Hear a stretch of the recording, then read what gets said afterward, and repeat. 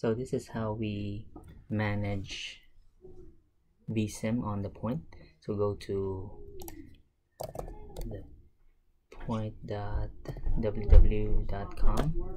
and then click on return user, log in,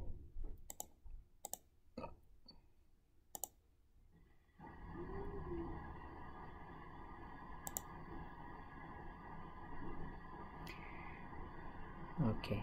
So go to under my content. So go to your vsim for MedSurg click on it.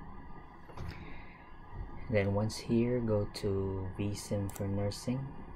If you don't have classes yet uh, just click on my classes. Here you already have well, I already have my classes so to create one simply add new class uh, we should be in here. I just type in Medgar Evers and two things pop up. I've been using this one right here. And these are the the ones with the asterisks are the only informations that are really required. So you can create your class here and you are 275 or you can even add a semester. Fall 2020 say group one and then that's all you need. These these four um, are optional. So if you create class it generates instructions but if you miss this page that's fine. You can still access the individual instructions uh, later.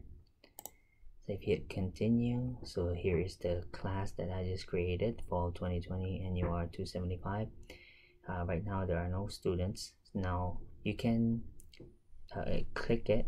So click view. You, here is where you can add co-instructors.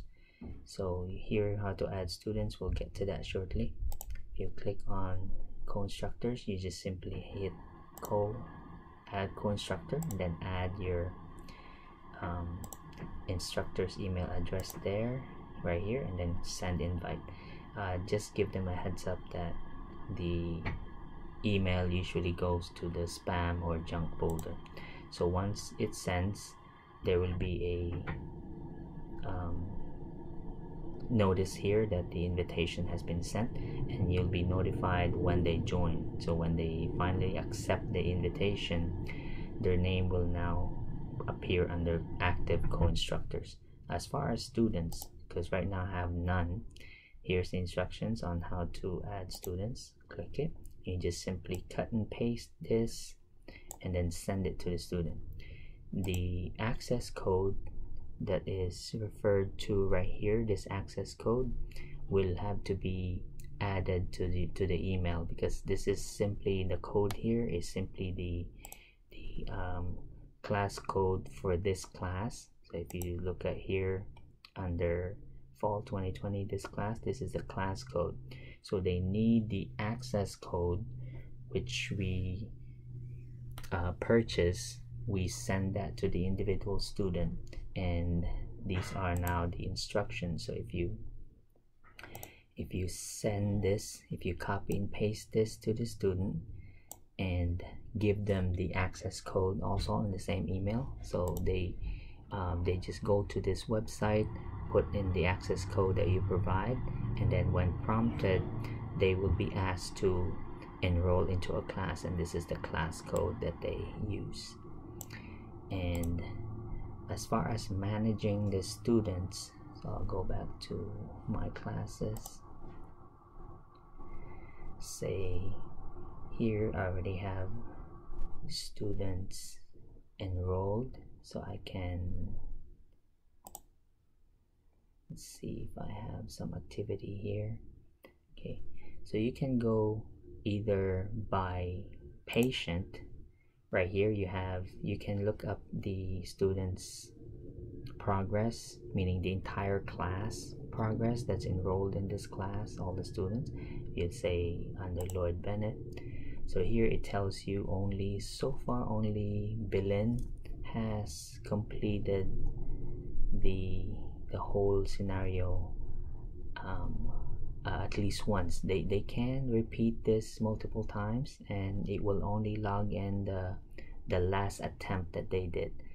I don't think there's a way to see how many attempts they've done but it will reflect the the latest um,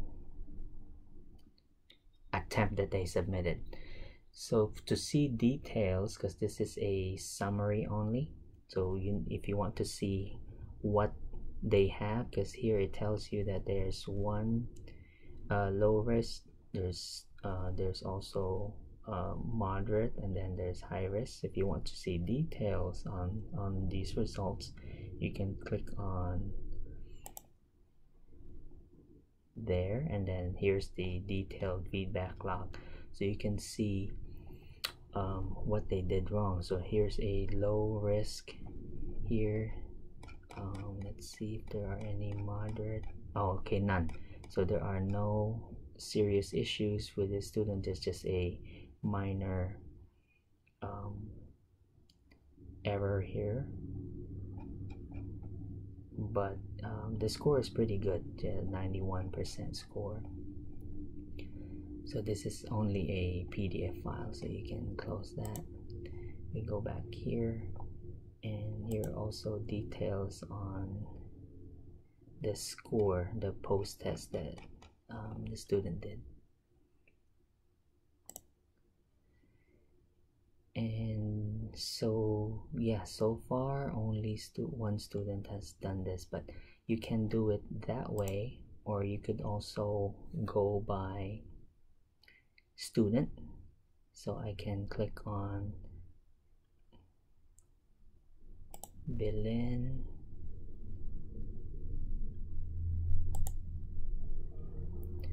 so she's she's been busy. So she has done not only Bennett but she's done Bronson Hoffman and Brody as well so she's she's been busy. Let's look at the others. If they've also been staying okay none. I guess none for Robert.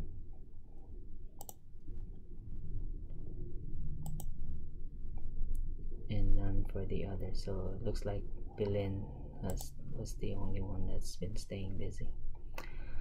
Um what else? uh, that's pretty much it. How to add a class uh, how to create a class and how to manage existing classes how to add instructors and how to um,